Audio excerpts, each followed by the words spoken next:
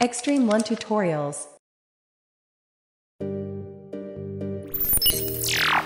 In this video, we will cover how to upload data to Xtreme1. This video is part 3 of our tutorial series.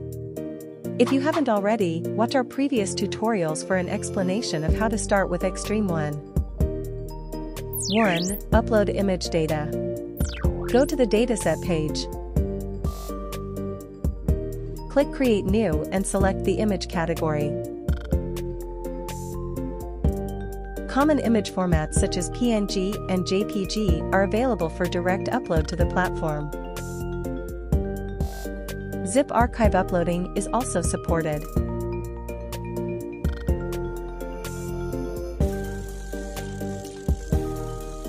Two, upload 3D point cloud data. Xtreme1 supports PCD format point cloud files which contain ASCII and binary data. Uploading is similar to uploading images.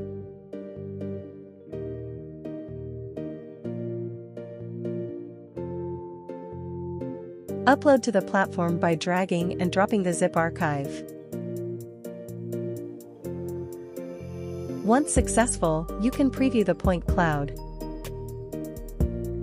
3. Upload 2D and 3D Fusion data. 2D and 3D Fusion data should be placed in their corresponding folders. Point cloud data should be placed in the point underscore cloud folder.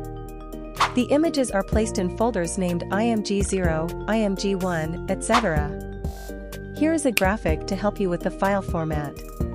When uploading Fusion data, you also need to upload the camera parameters file in the camera underscore config folder. Finally, upload the zip file to the platform. Click on the preview and check your data.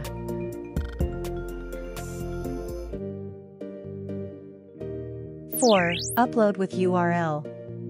All data, whether it is images or zip files of point cloud data, can also be uploaded directly via external links.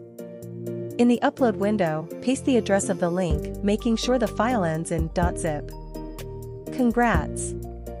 You now know how to upload data to Xtreme1. 5. Future plans. In future versions, we will support data uploading operations in the command line interface. We will also make common data sets public, which can be uploaded with one click. Thanks for watching. Welcome to join our community to discuss more about products and ask questions. Star our GitHub repo to support us.